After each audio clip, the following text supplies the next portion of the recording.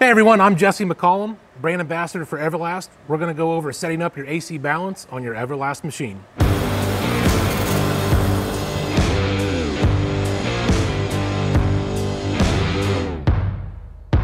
All right, today we're going to be running this demo on the Everlast 255 EXT. The only thing we're going to change today is our balance. All the other settings are going to remain the same. So let's run through those real quick and show you what we're working with. So we're on 090 material. We're gonna we're gonna set our max amps at 100 amps. That'll be more than enough. Our frequency, we're gonna be at 120 hertz. That's the default setting for the machine. Our balance is at 35% electrode positive. No downslope, minimum end amps, 10 seconds post flow because we have 100 amps max. 0.4 seconds pre-flow and a 35 amp start. All right, so those are gonna be our constant settings today. The only thing we're gonna change is the balance. Let's run a bead and show you what we got.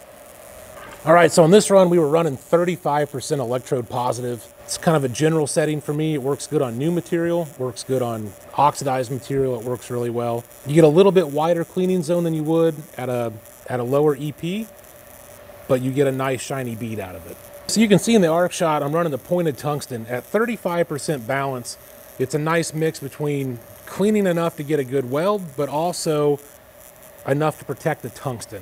So I keep a nice point the whole run. I think we've, we've done three passes now with that same tungsten. It looks exactly the same as when we put it in the torch. All right, so here's the weld we did with 35% balance. You can see we've got a nice, pretty tight etching line. It's real smooth, it's not jagged, it's not all over the place. We've got just a little bit of pepper in the weld because we're running some pretty dirty plate today to, to really highlight the, the difference in balance. Um, but other than that, we got a nice shiny bead. It's pretty clean. Now that we've seen what 35% balance looks like under the hood, let's head over to the whiteboard and we'll take a look at what's actually going on. So before we get into explaining what our balance is doing, let's talk about why we have to weld aluminum on alternating current. So with alternating current and aluminum, your electron flow is going from the base material up to your tungsten and then coming back down. When it's coming up towards your electrode, that's electrode positive. What that's doing is it's blowing off the oxide layer on the aluminum. Aluminum has a very thin oxide layer that melts at about 3,500 degrees, while your base material will melt at about 12 to 1300. So that's why we have to use AC is to get that oxide layer off the top so we can melt the base metal and get good penetration. So now that we understand why we have to use AC on aluminum, let's take a look and see what's actually going on with our waveform to better understand our adjustments. So that first bead we ran was with 35% electrode positive. You can see here, we're spending about 35% of our waveform on our electrode positive side and 65% on our electrode negative, which is our penetration side of the waveform. This generally will give you, with a nice grind on the tungsten, will give you a small, stable ball that's very consistent for the length of your weld. All right, so the next run we're gonna make is with 50% electrode positive. What this will do, it's gonna ball up our tungsten quite a bit more. We're gonna have a wider etch zone. The arc's probably gonna be a little more unstable.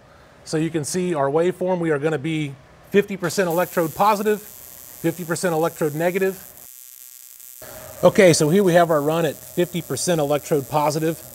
Right off the start, you can see the tungsten's taking a lot more heat. The heat's rising up the tungsten. As we move along, you see it starts to ball up pretty quick. The tip becomes unstable. It kind of dances around. We get a little defect in the weld there. It settles out. We got a lot more etching as we go along. The arc's a little more unstable. So you can see how much the tungsten's already balling as we get through this weld. Uh, here in a second, we're gonna show you an arc shot with a second run where the tungsten really starts to ball up. So you can see with the tungsten balling like this, if you wanna keep a nice tight arc, if you're doing precision work, you're gonna be making a lot of trips to the tungsten grinder to keep that nice tight point on your tungsten. All right, so here's another look at our 50% balance run. You can see right in here, this is where in the arc shot, the tungsten tip became unstable. It kind of jumped off to the side. It actually made a defect here in the weld. My hand position never changed, but the arc shot off the side of the tungsten as it became unstable. And then it kind of rebounded here. We got a nice clean run.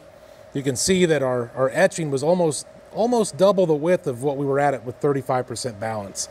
So with 50% balance, if you're trying to do a lot of precision work, you're gonna be making a lot of runs to the tungsten grinder to keep a nice tight point on your tungsten. So now we've looked at 50% electrode positive. Let's go back to the board and look at 20% electrode positive. All right, so here we are looking at 20% electrode positive or 20% balance. You're gonna notice we're spending a lot less time cleaning, spending a lot more time penetrating. So we're gonna have a dirtier weld that's gonna be a lot easier to, to blow out. Our tungsten is gonna keep a nice tight point and our oxide line is gonna be greatly reduced.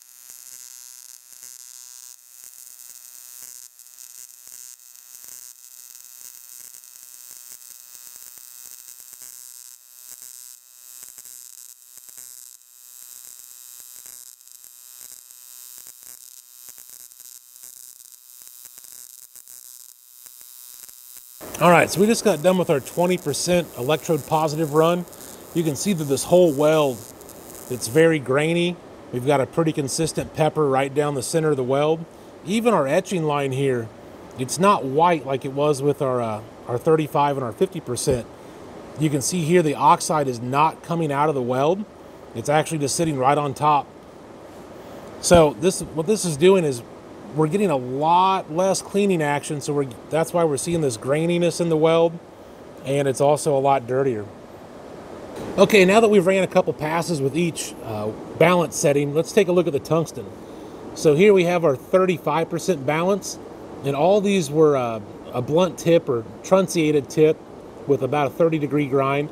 So here's our 35%, our 50% balance, and here at the end is our 20%. So you can see We've got a slight deformation at the tip on the 35, pretty good sized ball on the 50, and the 20 is pretty much as ground. It didn't really affect the tungsten too much at all.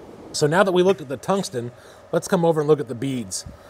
So here we have our first run at 35%, nice shiny bead, nice white etching line.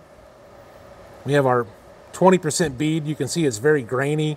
It's got a lot of pepper in it. The etching line's even dirty. It's still got oxidation in it. And then at 50%, still a nice shiny bead, very clean, but our etching line is very wide. Now that we have a better understanding of what our balance settings are doing, hopefully this will help you dial in your machine for your application. I'm Jesse McCollum, brand ambassador for Everlast. You can follow me on Instagram at mccollum.weldfab. Till next time, weld mean, weld green.